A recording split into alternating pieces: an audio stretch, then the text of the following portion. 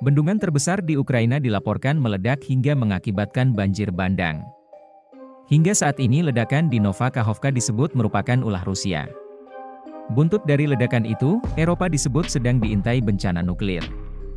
Hal itu disampaikan oleh pembantu Presiden Ukraina, Mikhailo Podolyak. Ia memperingatkan potensi bencana seusai ledakan di bendungan tersebut.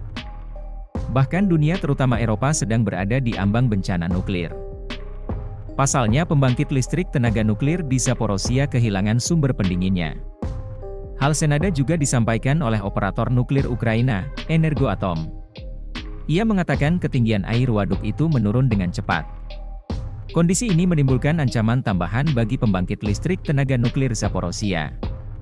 Sehingga saat ini, operator sedang memantau situasi. Adapun situasi saat ini yakni tingkat air kolom instalasi pendingin cukup untuk kebutuhan pembangkit listrik. Namun pernyataan tersebut bertolak belakang dengan badan PBB dan Rusia. Pasalnya mereka mengatakan tidak ada risiko besar seusai bendungan itu meledak dengan dahsyat.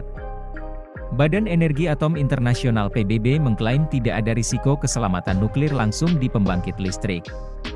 Sementara diketahui Zaporizhia merupakan pembangkit listrik tenaga nuklir terbesar di Eropa. Namun wilayah Zaporizhia yang berada di wilayah selatan Ukraina telah diduduki Rusia.